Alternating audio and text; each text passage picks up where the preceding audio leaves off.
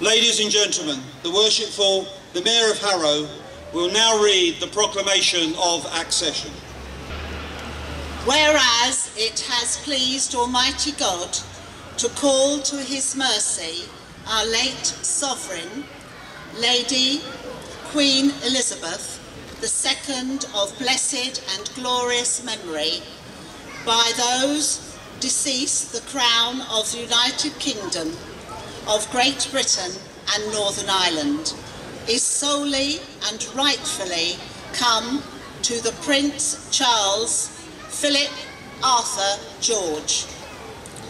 We, therefore, the Lords spiritual and temporal of this realm, and members of the House of Commons, together with other members of His late Majesty's Privy Council, and representatives of the realms and territories, aldermen and citizens of London, and others, do now hereby with one voice and consent of tongue and heart publish and proclaim that Prince Charles Philip Arthur George is now by the death of our late sovereign of happy memory, become our only lawful and rightful liege lord.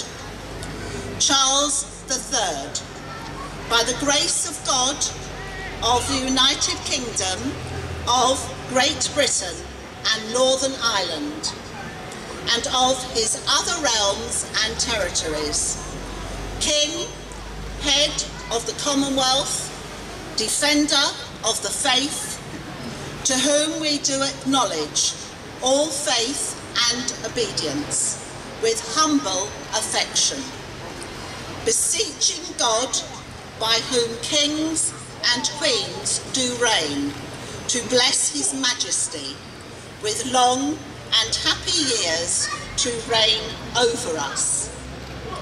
Given at St James's Palace this 10th day of September in the year of our Lord 2022. God save the King! God save the King! God save the King! God save the King!